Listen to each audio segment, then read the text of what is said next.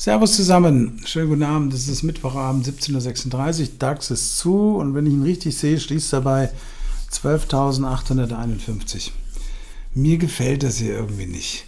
Der macht immer wieder der Index den Eindruck, als ob er irgendwie hier eine Bodenfindung abschließt. Das haben wir gestern zum Beispiel gehabt, als wir dann hochgingen in der Spitze bis ähm, 13.154 und dann gibt er auch genauso schnell wieder nach. Sollten wir dieses Low vom 29.08., das war bei 12.758 mit Schlusskurs unterbieten, äh, dann ist das hier eigentlich Pflicht. Also dieses Low bei 12.389. Die Bänder gehen weiter auf. Da ist noch nichts von wegen mit, wir drehen mal hier oben.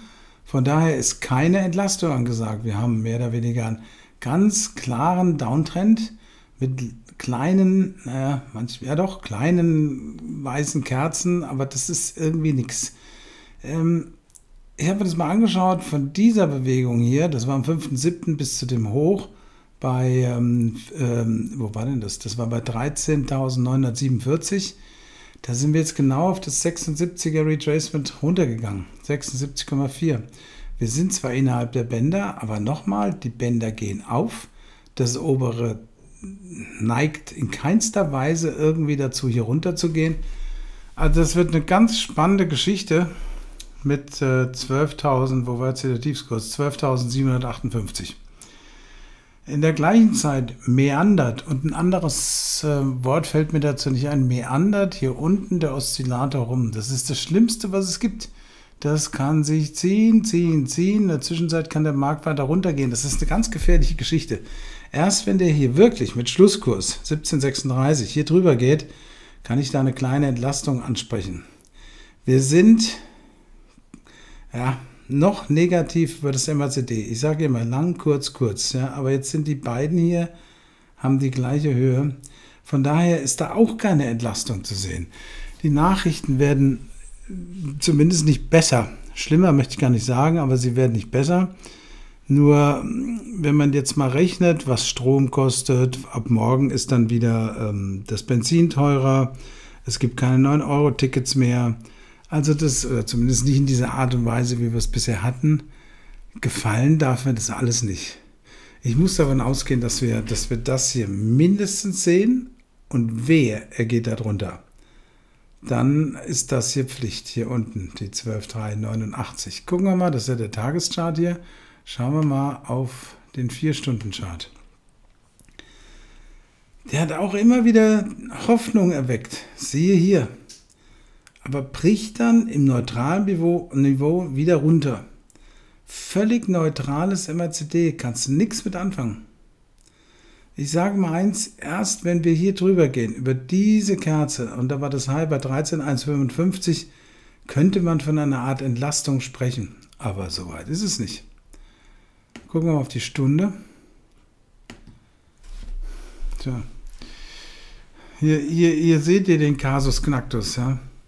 Das ist, hier ist einer, das waren die Tagestiefs, aber hier ist der eigentliche Punkt. Das ähm, 76er Retracement von FIBO. B, wenn wir da runtergehen, es bricht alles wieder runter. Es ist überall leicht negativ. Über das MACD, über die Stochastik. Da ist nirgendwo irgendwo etwas Positives. Also wer keine Position hat, sollte warten. Oder leicht Putz kaufen. Putz im Strike von hier etwas über 13.175. Wer eine Position hat, muss damit rechnen, dass es hier noch weiter runter geht. Und äh, wer short ist, kann es bleiben.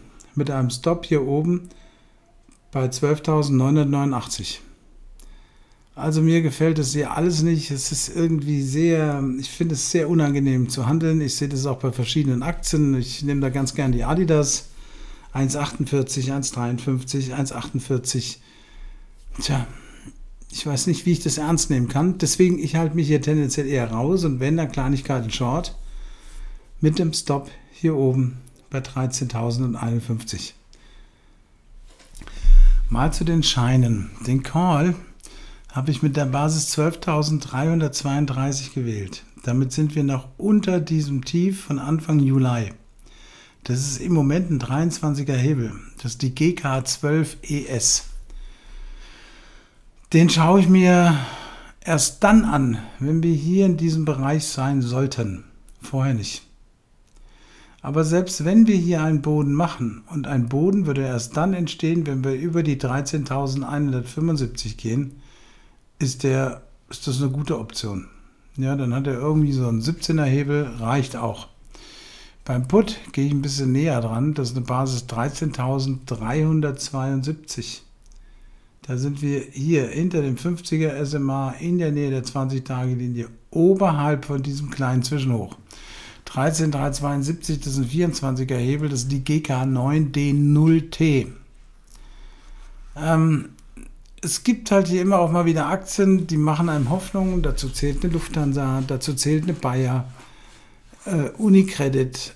Aber auf der anderen Seite, gerade Bayer war so ein Ding, da waren sie 55, dann waren sie wieder 50,5, jetzt sind sie wieder im Moment bei 52, 50 das kann man im Moment nicht greifen. Die Volumina sind gering.